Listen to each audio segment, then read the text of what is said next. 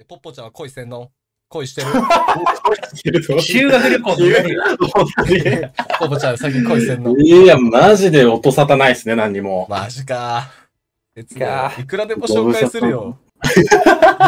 いくらでもで、フォイさんはないですか？そういうの。ないよ。いや、違う、あの、恋がないだけだから。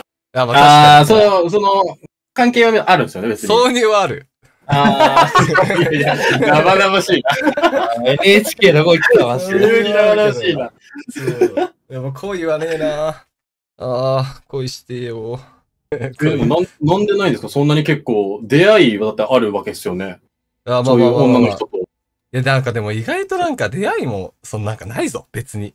言うてだって。俺さガチ、トン来た。マジ、マジのトーンや、今。ないぞ出。ちゃった、出ちゃった。エンタメ枠なのに。悔しい。いや、声がの色違ったもん。そうですね。いや、僕飲み行かないんで。あ、そうなんですあか？あ、俺飲み行かてたもんねあー酒癖悪いけん。そう、やけん、マジでずっと椅子に座ってるわ。なんかあれかと思ったしまその、うんいくらでも女はいるけど、今は作ってないみたいな。